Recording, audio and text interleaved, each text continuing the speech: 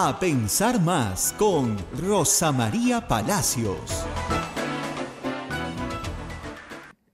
Juan Carlos Tafur, que para esas cosas es malo, ¿no? Le puesto una chapa horrible. Dice que la luz de flores de la izquierda. Porque no hay forma de que tome una decisión correcta. Ahora está recorriendo el país, recogiendo firmas o tratando de conseguir los 20.000 militantes que necesita para su inscripción, más que firmas, ¿no?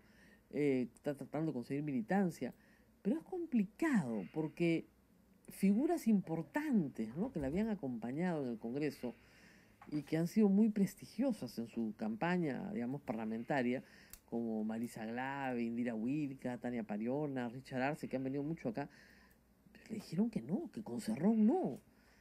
Y Cerrón también ha salido a decir, oigan, pero este, no pasar la valla tampoco, ¿no? Porque todos los del centro que han votado por mí, hay candidatos que tienen 30.000 votos, no han salido elegidos.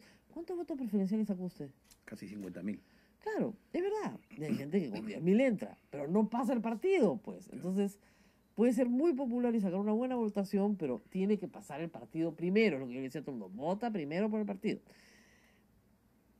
¿Qué futuro tiene la izquierda en, esta, en este contexto? No, yo creo que mientras eh, las demandas de la población, y esto lo he sentido yo muchísimo en campaña, sean eh, las que la izquierda recoge como propuestas, eh, hay, por supuesto, un futuro importante, interesante.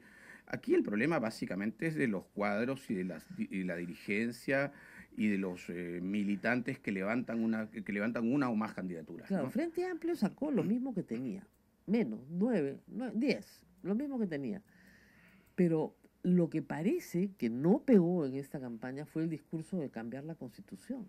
A nadie le interesó. No, no estoy tan seguro, Rosa María. Finalmente el discurso de cambiar la constitución es, el, es del antaurismo, es de ciertos... Sí, eh, claro, pero el discurso del antaurismo es más enloquecido, ¿no? Ni un solo venezolano en el Perú, hasta no, no, no los peruanos. Seguro, seguro, pero, pero hablemos. De muerte para los corruptos. Pero hablemos estrictamente. Eso va más allá del cambio de la sin. Duda, sin duda, sin duda. Y eso es, y eso es eh, preocupante. Eso es refundar un, un, país, ¿no? Es preocupante porque además, claro, es, habría que hacer eh, o permitir que una asamblea constituyente, eh, entre otras cosas, permita la, el retiro del Perú del, del, de del, pacto, sí, exacto, del pacto, de San José.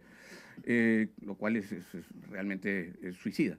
Pero no, me refiero a que no estoy tan seguro de que, y, te lo digo también por esta, esta intensa caminata que hemos tenido que hacer en, prácticamente un mes por distintos, eh, y estoy hablando exclusivamente de Lima, por distintos distritos de Lima, eh, donde sí decían muchísimo esta constitución ya no, no nos representa. Mm. Muchísimo, muchísimo. Queremos una nueva constitución. Pero no Queremos una nueva constitución. Claro, pero no ha sido el voto popular. Mm. La verdad que no.